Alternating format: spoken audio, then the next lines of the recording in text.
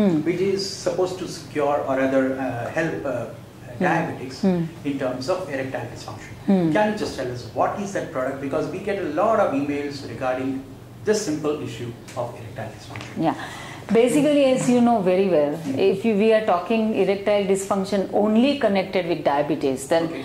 it's purely and purely because of the blood circulation, nervous system, and muscle tone really collapsed Okay. in the zone where it, uh, uh, the reproductive zone, fundamentally, right?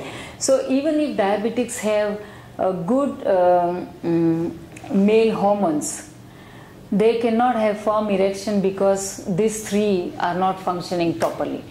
So, I, for diabetics particularly, it is very fundamental to keep the sugar stabilized Okay. and work on the root cause, which is metabolism, so that these toxins don't attack blood vessels and the nervous system and this and that. You know, Okay. that's very important. First, fundamental, and second, there is this a simple combination which somebody can try. I have I have given it to the people and they've found a good improvement in their situation with that combination, which contains ashwagandha, Okay. one teaspoon. Then it contains uh, kaucha. You know, kaucha bees, uh, beej is uh, mucuna pruriens. Okay. Ashwagandha is Withania somnifera. Okay. So um, And these are vegetables. these are all the herbs you can Herbs. get in any Ayurvedic stores. This is just no. I'm just giving this Okay. formula which we use Okay. for people's benefit. Okay. Okay, so ashwagandha one teaspoon or or kaucha one teaspoon or gokshur one teaspoon. These three combined together. Okay. Take it two times a day, and I have seen in every kind of erectile dysfunction a good change happening within three to six months. It takes very long time because it is working from inside and it's slowly, slowly. Anyways, nothing works for them, so they see definitely a change. I see. And how many of your patients have actually reported that uh, it has improved their system I would say in terms of percentage? yeah, we. I would say fifty percent. Yeah, 50%. yeah. And is there any particular age group that it works on? Because nowadays time. Younger age is better. Okay, 70 plus is very difficult. I see. Okay. Very difficult. But if it's under 60, 45 to 60, I would say at least 70% result is there. But when there is more than 70 years means hardly 20 30% results. So I'm just averaging out because of that. Because now we see that increasing number of. Uh, Also, one more teenage- thing uh, mobile phones, when people put in the pocket, Uh-huh. it impacts badly their fertility and impotency both, their potency and fertility both. So, only by telling people to remove mobile phones from the pocket itself has improved it, just for your knowledge. It's very simple but No, very uh, effective. earlier they said that don't put your mobile phones on your shirt pocket because it affects your heart. It affects everything, trust me. So it's best to keep your mobile phones away, far Yes. away from yourself. yeah, Okay. as much as possible. Okay. Now, can you also tell us if uh, the, your Ayur- Ayurvedic medicine can help, uh, you know, uh, female in uh, the reproductive system?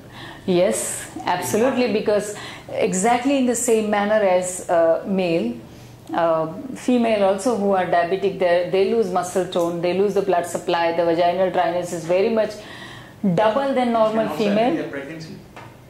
It can impact the pregnancy as well. So, so um, we have treated lots of people who have uh, pregnancy-induced diabetes, and it definitely helps a lot. Yeah, gestational diabetes, uh, it, it definitely helps.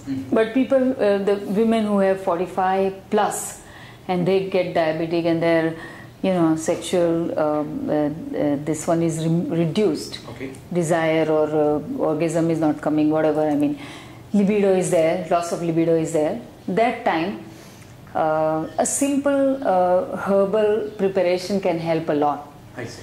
It contains one teaspoon of fennel seed powder, Okay. a quarter teaspoon of uh, ajwain seed powder, one teaspoon of cumin seed powder, a pinch of asafoetida, and one teaspoon of shatavari powder.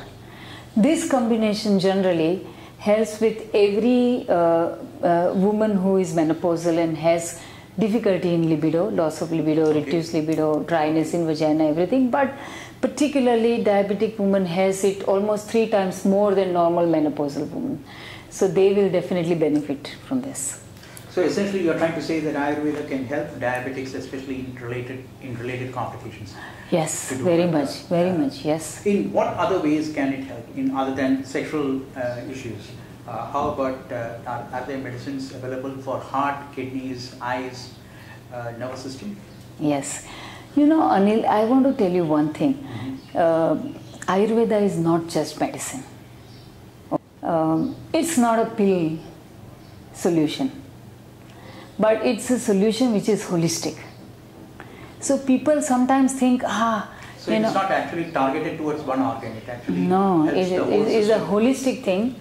It, it. it contains diet, it contains lifestyle, it contains specifically designed detox programs and herbs Absolutely. and marma. So these are all part and home remedies like what I was sharing right now, only from cumin and fennel and everything you can actually just take care of yourself. So it contains everything together and it is really working on the root cause of uh, diabetes which is what we call as metabolic syndrome. I'm talking about type 2 diabetes now Yes. because majority people have Majority that. have that. So I'm just focusing on that. Right. But uh, metabolic slowdown is the key and the most important reason for type 2 diabetes. Of course, I mean it comes from uh, hereditary as well, but if you look at you know people who keep their metabolism good, they don't get it.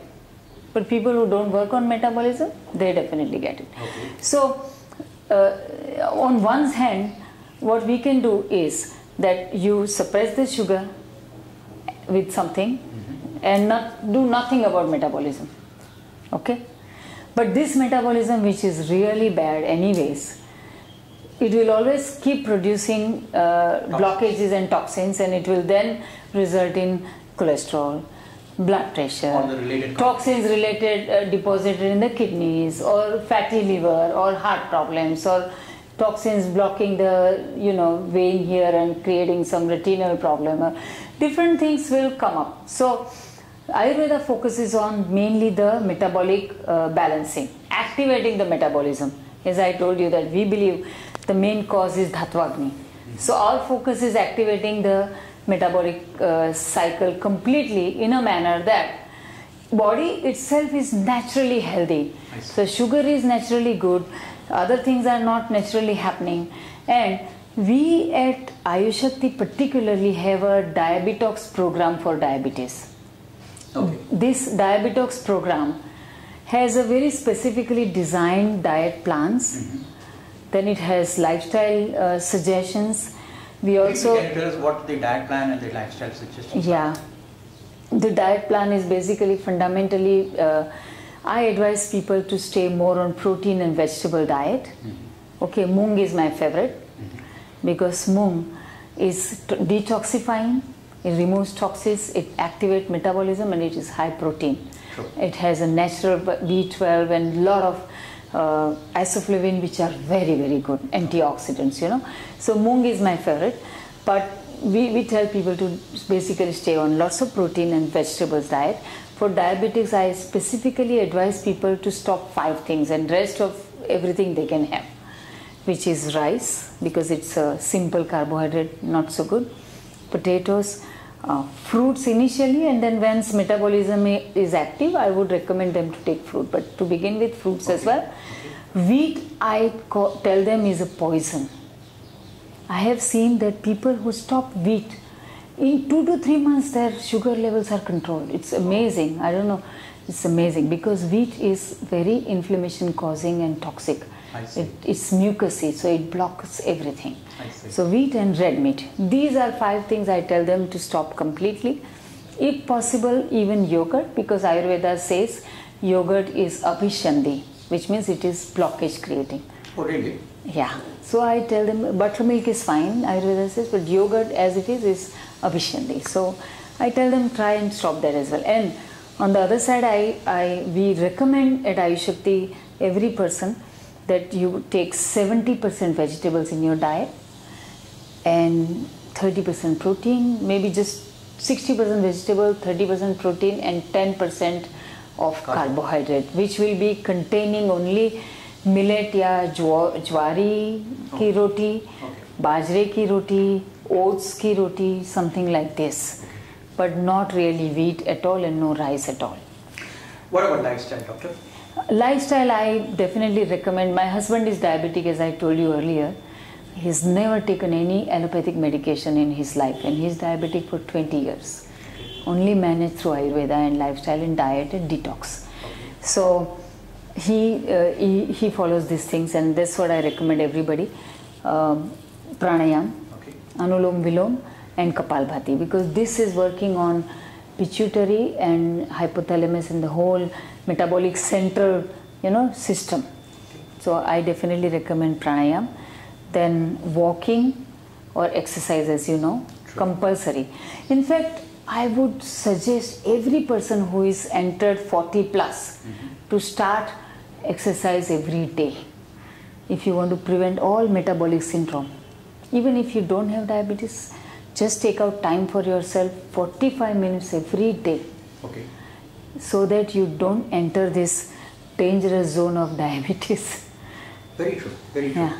I, was about to ask you about yoga itself, but I guess you have already answered. yeah yoga I, I, I always tell people to do a combination exercises you know Okay. yoga is kind of stretches which is good but we need also uh, aerobic type Okay. so running swimming playing table tennis dancing aerobic anything that can burn the calories also should be part of the regimen so it should be a good mixture of stretches and aerobic calorie burning something like That's this actually the natural way, you know. When Yeah. you're working in the field, yeah you work very hard, physical. Exactly. So that- that That's why, you know, earlier times, former times, when Charak Samhita was written, this Prameha was, Madhu Prameha was not so, so popular. Wasn't so much. Because No, people used to work hard. Possibly a 20th century uh, disease. It, it is a success, side effect of success, I Yeah, would call it. side- side Stress, of no exercise, only working. exactly. All all about